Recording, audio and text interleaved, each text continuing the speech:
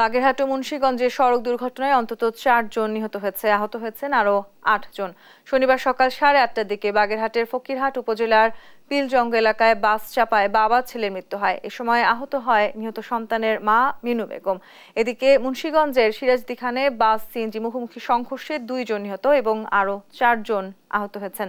সকাল দশটার দিকে উপজেলার নবাবগঞ্জ এলাকার খারসুর এলাকায় এই দুর্ঘটনা ঘটে।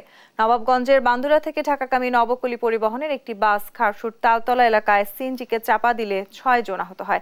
তাদের উদ্ধার করে নবাবগঞ্জ স্বাস্থ্য কমপ্লেক্সে নিয়ে যাওয়া হলে দায়িত্বরত চিকিৎসক দুইজনকে মৃত ঘোষণা করে।